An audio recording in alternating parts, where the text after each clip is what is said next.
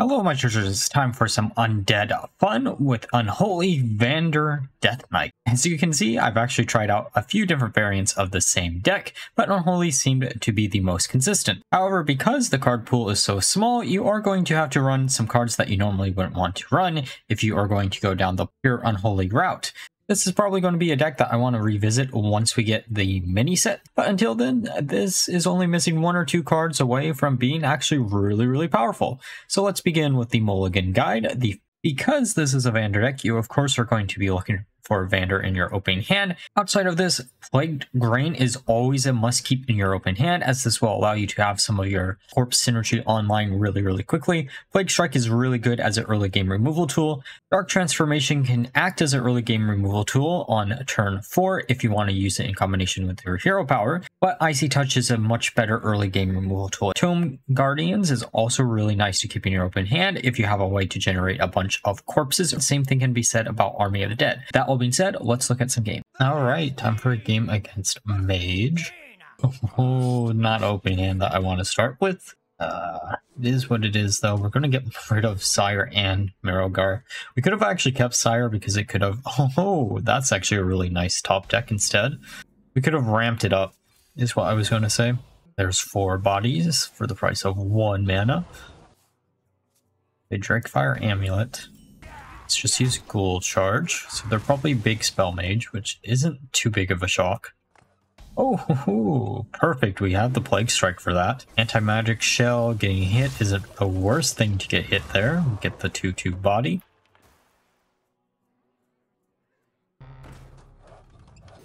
Oh, I mean, I'll take another Plague Charge. Or, mean, Plague Strike.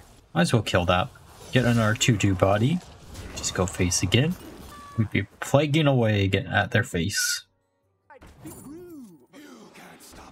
Oh, they're to freeze out one of our minions. Uh, well, be a lot worse. We do have Army of the Dead, which is really, really nice. The Scourge, interesting. Don't know if that's actually going to matter. Just going to put up two, two taunts. Oh, we should have actually used Army of the Dead, to be honest. Okay, okay, so they're to kill our minions. That's fine. We get the coin, which is really, really nice. We still have a 2-2, oh, a 2-2-1's up. We could kill... Now, we wouldn't have enough mana to use the Scourge right away. Hmm. Army of the Dead is probably the safer bet here. Sure, it's going to get rid of our pool, but could be really, really useful. I'm going to get rid of the 3-2. Maybe we can get rid of the other minion too and then just go face with the other two. Hopefully they don't have something like Blizzard or Deathborne. Deathborne would ruin our day. Okay, they're going to coin something out. Oh, Dawngrasp. Interesting. Doesn't really do too much for them. I don't actually think it does anything for them. Oh, they're just going to coin out. Okay, they're going to get the honorable kill. Too bad our board is actually full of little zombies. Oh, that is interesting.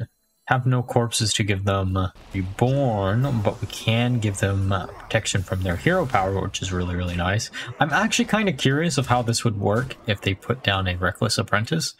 Would it just not be able to target any of our minions? Because that would be funny. I don't know exactly how that works. Oh, they're going to freeze out our board. Okay, okay, so they can only hit our face. Uh, that's not going to do that much for you, my friend. Okay, we have... Oh. now, that is a funny top deck. We, we don't really have a use of it right now. Just want to evolve this zombie, get rid of the 3-3. Maybe they'll get rid of our entire board next turn. Then we can just use Sire and wipe them out. Though Sire has been nerfed, so actually I don't think that's going to work. Well, they're not going to be able to clear out enough of our board, I don't think. Let's just go face. Wait, are we going to have perfect lethal? Well, it's been a while. Sire for victory. Hey, time for a game against Mage. Huh, I wonder if it actually is Mage or not. Okay, this opening hand is not something I want to keep. I don't think anything here. Graveyard Shift could be funny, but I think the other two need to go. Yeah, let's just get rid of all three. There's Icy Touch. Doesn't actually do anything right now. Good for later. Oh, just going to hero power, go face. Ah, rogue. the chances of it actually being mage were much lower than it being rogue. Oh, Plagued Grain is nice as a top deck, then we can just hero power, go face. Okay, draw two, summon a three. Mm -hmm. That is not a minion that I want to see right Oh, we actually have a response, don't we? We can hero power, hit their minion, summon a 2-2.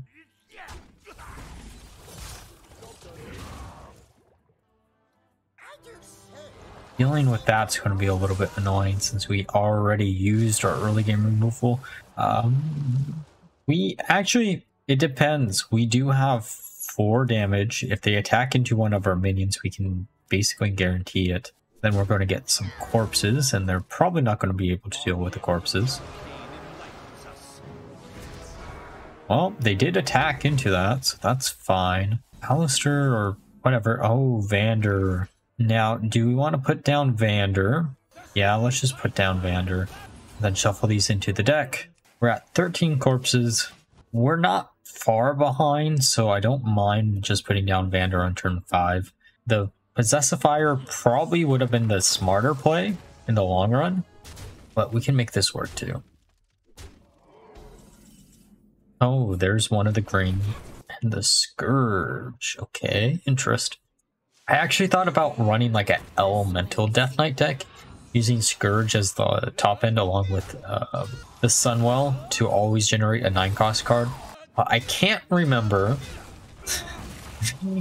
what 9 cost minions that exist in Standard Hearthstone right now.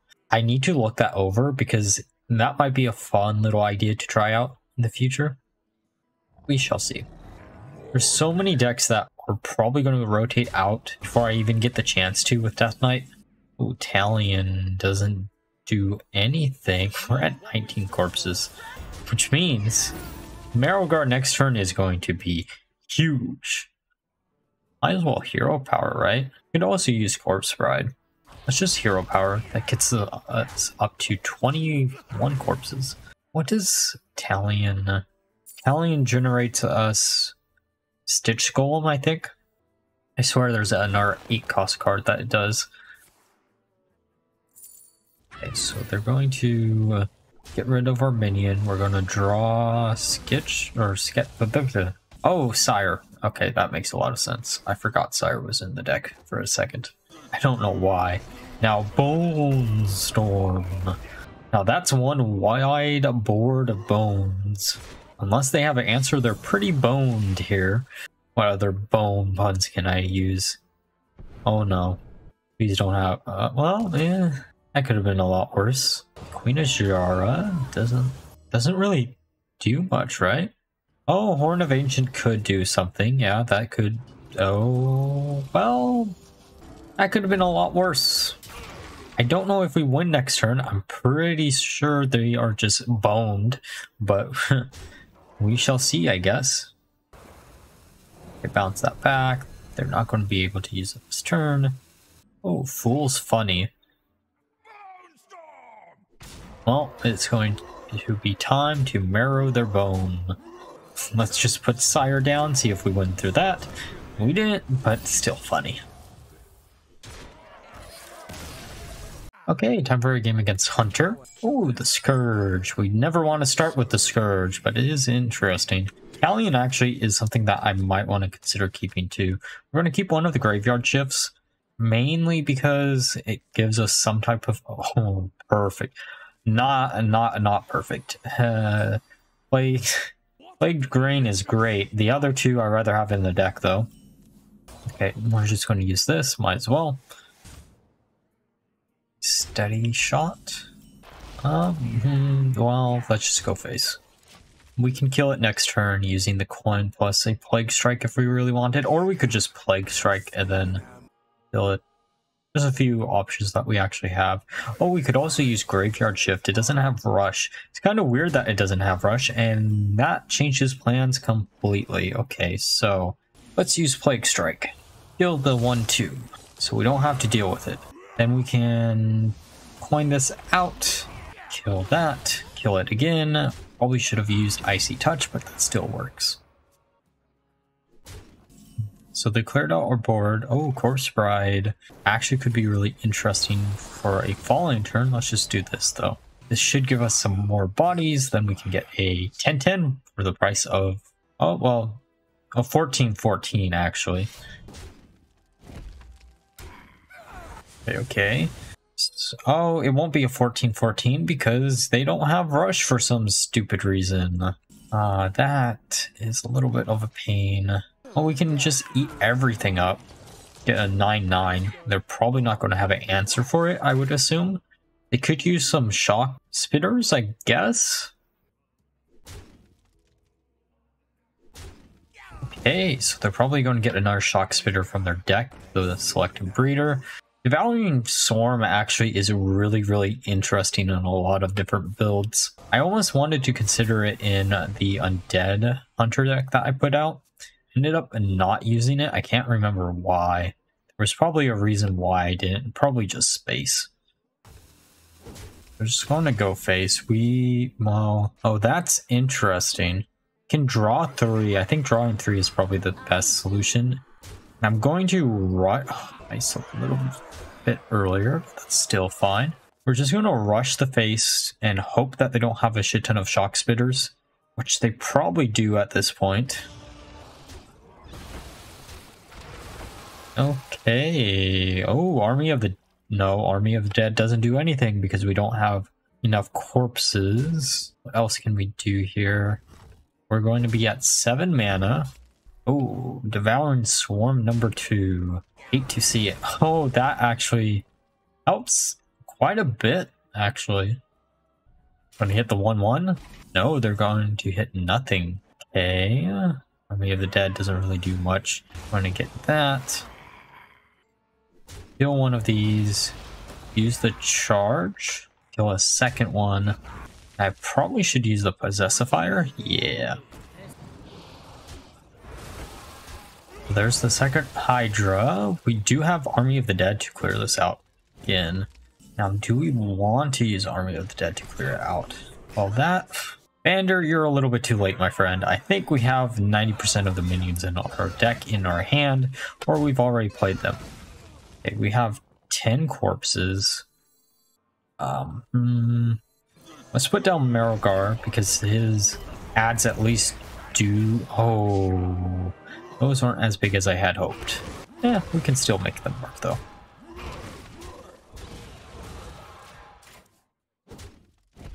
Okay, okay. Do they have anything that can actually deal with this board?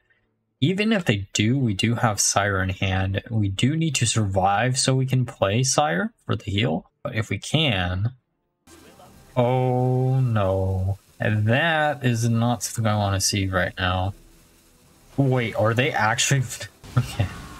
That's fine by me if they target that. Okay, how do we want to do this? We have 9 mana, there's the grain, doesn't really do anything because it doesn't have rush. You can see what we randomly generate. I think cool. No, no, we do not have anything cool. Wait. we do have lethal here, I think. Yeah. Excellent. Okay, time for a game against Death Knight. I'm uh, if it's that portrait, I'm assuming there probably are Death Knight. I mean, they could be Rogue. Death Knight is common, though. I don't know if there's anything in this open hand I really, really want to keep. We can actually keep Dark Transformation, I guess.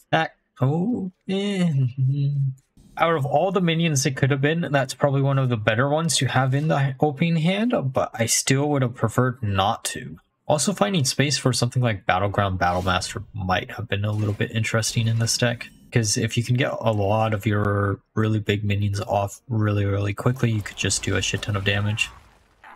I may or may not try to look for a good replay of the rainbow version of this deck just to make a short out of it. I don't know. We'll, we'll see. Also depends on what type of buffs and nerfs that we're actually going to see. I didn't want to do anything with Frost DK because I'm assuming it is at the top of the boards of wanting to get nerfed out of all the Death Knight decks, I should say. And I think Unholy was the safest bet. I'm just hoping that decision doesn't backfire. Here's the dual charge. It's gonna hit our face. Plagued Grain, I love when you see it this early on. Honestly, one of the only reasons why I wanted to keep doing a pure unholy variant is Plague Grain and Marrowgar. Plague Grain moved to two unholy, I think wouldn't break anything. Could make it a lot more interesting. I don't know if they'd ever want to do that. Or just give the stupid zombies rush whenever they are played. Now, we can get a 7-7. Let's actually do that. I'm hoping that they don't have anything to remove the 7-7, but you never know, they are Frost DK. Okay, there's School Charge. Frost Strike. Oh, they did get rid of the 4-4. Okay, okay, we still have the 7-7. This is a perfect example of why I would want a Battleground Battlemaster. Don't think we really need it. Let's just put down the 8-8. We're actually not in the worst position in the world. Though they they could, in theory, have a lot of damage in their hand. Oh, if they're needs something on 7, yeah, of course it's going to be that. Still shocked that we didn't get Sindragosa or any other dragons in the base set of Death Knight. I would have assumed that we might have. Would have been cool to maybe have, you know, Kazakhstan Death Knight. We can just Plague Strike that. Okay, okay, we have a pretty wide board. They could freeze out our board again, which is going to be a little bit annoying if they do. And they they definitely are going to do it. How do we want to do this? Well, those aren't undead. I I actually did not realize they were not undead. Can do two damage there. Oh, Okay, so we we need I think two deaths for two to three for the disguise, right? Gonna kill that. That's not enough. Hmm.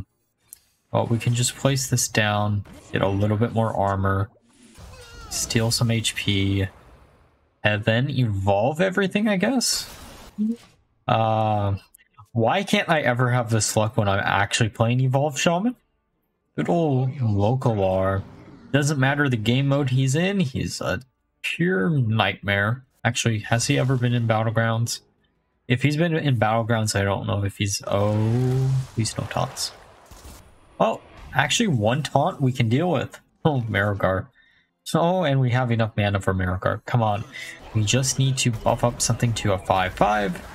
And there we go. And now we just a Lokholar on their face. I don't know where I was going with that.